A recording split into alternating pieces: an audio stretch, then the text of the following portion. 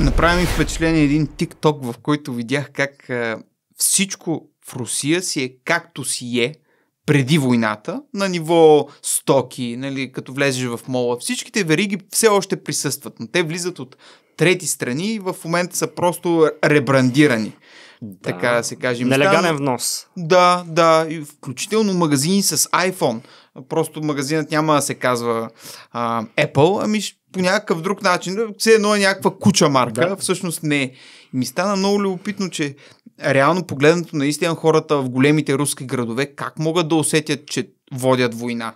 На економически тя също не се ли възстанови? А, трудно можем да кажем, че се е възстановил. Успя да закрепи спадането на Економически растеж постигна миналата година, но той се дължи основно на увеличаване на производството на въоръжение техника, не че нещо друго се е случило в економиката, но в същото време, примерно имахме инфлация от около 8%, за миналата 2023 година рублевата спадна с около 25%, а, лихвата на Централната банка, основния лихвен процент е 16%. При България, България е по-нисък от 4. Представете си тук, ако Тоест, нека да го преведем на зрителите. Ако искаш да си купиш а, жилище в Москва и жилищният ти кредит няма да бъде с 3% лихва на година, както е тук, а с 16%. Ами с повече, защото това е банката, която отпуска на другите банки, нали, а те ще трябва да си калкулират още малко печалба, а, още, точно така, така че да. ще стане поне 17%. Нали, ще стане солено и, и по-нагоре. Да, а, така че не знам доколко това може да значи, че имате една от просперираща економика, защото ако сравняваме просто такива макроекономически показатели, които ни се прехвърлят, нека да кажем, че примерно миналата година Украина отбележи около 5% растеж, а нейните златно-валутни резерви са почти на исторически максимум, нали, колкото и да звучи парадоксално. Така че ако гледаме през тази призма, Украина дори отбеляза по-висок растеж. Економически растеж имат от 5%. Да, около 5%. Че той нашия е по-малък е по-малък, но това е другия феномен. Е колкото сте по-развита страна, всъщност толкова е по-малък економически растеж, защото всъщност не може да направите голям напредък. Пък ако нали, имахте през първата година спад на украинската економика с около 35-40% заради войната. Нали, възстановяването е с по-бързи темпове, но няма значение. Нали, ако гледаме просто показателят, 3,5 срещу 5.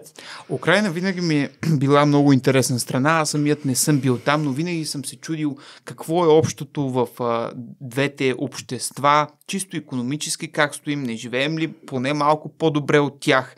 Имаше някакви репортажи по български медии, където показваха а, след военни градове как изглеждат. Еми, те са по-добре асфалтирани от нещата тук.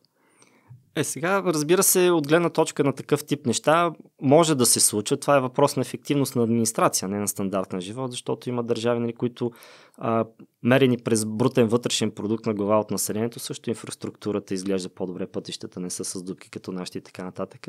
Така че не трябва нали, да гледаме отделни компоненти. В крайна сметка стандарта на живот, дори преди военния конфликт в Украина беше по-нисък от този, колкото е в България. Между другото, ето последните данни, които имаме от тази година, които излезнаха на Евростат а, българите са достигнали 64% от средното ниво а, на стандарта на живот на, в рамките на Европейския съюз. Да, за съжаление на последно място сме ние, това е България. Но тук нещо друго, което между другото, а, може би ще знам много хора, на предпоследното място е Гърция. Охо, Румъния ги е задминал. Да, Румъния, за съжаление, задмина за тези почти 20 години членство в Европейския съюз и нас. А помним Ако си, си спомняте, да, ние не искахме тогава, искаха не да ни сдарят, защото те ни дърпат назад и така нататък. Сега, за съжаление, те са по Или по-скоро, за съжаление, не за тях, а за съжаление на нас говоря, разбира се, които не опозотворяваме тези възможности, които получаваме в рамките на Европейския съюз. Безспорно. А помниш ли процента, който е бил в началото? Тоест, какъв а, процент от нашите от средноевропейския доход са били нашите. 2000-та година е бил малко над 20. Ето това е много ценно да го отбележим. Както че... виждате, за 20 години, малко повече, за 25 години, да кажем, за четвърт век, той се отруил.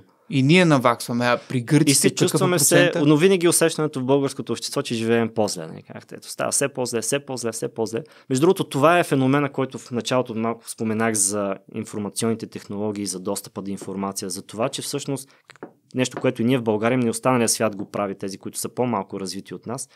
Тези технологии ти дават информация, те ти дават знания, всички положителни неща, които можем да кажем, но от друга страна ти дават възможност да се сравняваш с целия останал свят и да, да откриеш правейки това сравнение, всъщност колко по-зле живееш от ти от някой друг, защото ти, примерно, имаш един апартамент, нали, живееш приблизително добре, изведнъж гледаш обаче там по телевизията, той има апартамент с пет спални, с един басейн, с джакузи, отвън паркира от три коли и си кажеш, е, аз съм беден човек, нали. Скъпи приятели, разговорът с доктор Ивайло Иванов е възможен, защото много хора от вас са се абонирали за моя канал. Останалите, които все още не сте го направили, а ако искате да продължа да се развивам, абонамент към банка и едно огромно благодаря от моя страна. Да, това... много е важно наистина с кого се сравняваме. При нас моментът идва от това, че просто сме последни в Европейския съюз и според мен това отежнява цялата ситуация. Ами за да не бъдем последни, нека да направим така, че институциите ни да работят по-ефективно. Защото виждаме една Гърция, която е член от 1981 година, която първо три пъти през миналото десетилетие трябваше да бъде спасена от фалит от Европейския съюз и както виждаме, нейният жизнен стандарт в резултати на тази криза е, че тя е преди нас, въпреки че да, и гледах десетилетия по-рано член на Европейския гледах съюз. една графика за а, каква част от външния дълг е Тоест, втората чакай, чакай, чакай, точно така. А, външния дълг каква част от брутния вътрешен продукт? Някъде Правилно около 170%, да. Да, На второ място е Италия с около 130 Гърците няколко. са първия, ние сме uh, финансово ние много сме стабилни. На второ, или, на второ място, мисля, че сме като съотношение дълг брута вътрешен продукт с около 23%. И, и да, и аз това не мога да си го обясня, защо това им се позволява на гърците по този начин, защото утре пак ще изпаднат в несъстоятелност, пак някой ще трябва да ги спасява. А, да кажем първо две неща. А, това, че имаш нисък дълг, не означава винаги нещо добро, защото зависи този дълг как си го направил. Тоест, ако си инвестирал тези пари умно в инфраструктура, в образование на населението, в повишаване на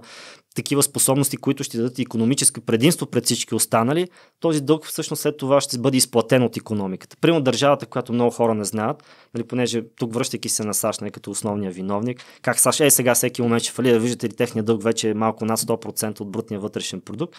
Държавата, която е с най-голям дълг в света, като процент от брутния е вътрешен САЩ? продукт, не, не е САЩ. Е, Япония. Япония. Да, бе. 200, почти 200% а. от брутния вътрешен продукт. А, Някой мисля, да е чул е за Япония, че има проблем с дълга. Не, защото всъщност пазарите оценяват дали тази държава има способността да изплаща този дълг. Докато пазара преценява, че вашата економика е достатъчно силна и може да изплаща този дълг, както видите, няма никакъв проблем колко е този дълг спрямо брутния ви бъдещен продукт. Той може да ви бъде и 50%, ако пазара оцени, че вашата економика не може да изплаща този дълг, да. пак ще влезете в същата ситуация като Гърция. Може ли всъщност... Така че тези абсолютни данни не трябва винаги да се гледат и ниския дълг не винаги е нещо позитивно. Както как зависи какво сте го инвестирали. Гълците го направиха нали, по друг начин. Те го инвестираха в 13-та пенсия, в 15-та заплата, такъв тип неща, които бързо бяха изконсумирани, без по никакъв начин да предизвикат позитивен ефект за тяхната економика, т.е. парите бяха изхарчени, економиката не може да изплаща. Споменавайки САЩ, може ли наистина това нещо да фалира?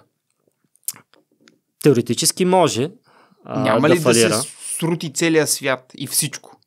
Ще се срути, тъй като те са много тясно обвързани. Това, което а, нали, дава предимство на Съединените Американски щати е, че те имат нещо, което никой друг няма.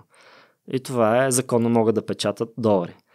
А, тоест от тази гледна точка, разбира се, знаем печатането на пари, ражда инфлация и така нататък, ще има катастрофален проблем, но чисто теоретически САЩ може да напечатат колкото пари са им нужни, за да изплатят този дълг. Нали, както как това ще има катастрофален ефект, както върху американското общество, така и нали, върху останалия свят, защото американската економика през долара, който е все още международната валута, всъщност ще пренесе тези ефекти навсякъде по света. А те могат ли да го направят без другите държави да не го разберат? Е, няма как. Нали, това така да ли? се случи. Тези данни се следят и е пределно ясно.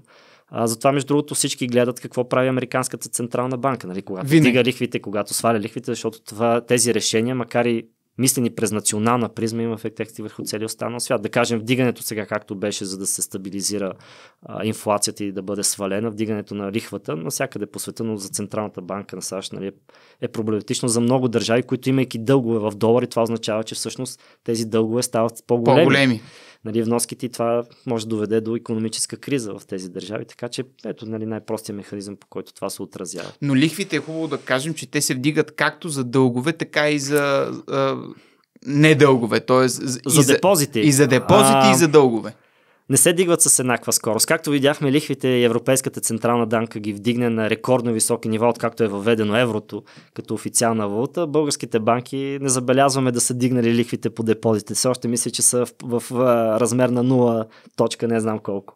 Да, да. А, така че банките, естествено, като едни корпорации, които преследват печалбата, всъщност колкото могат ще извлечат полза от тази ситуация, всъщност давайки скъпо кредити, а пък парите, които вие си държите при вас, давайки минимална лихва печалба от тях.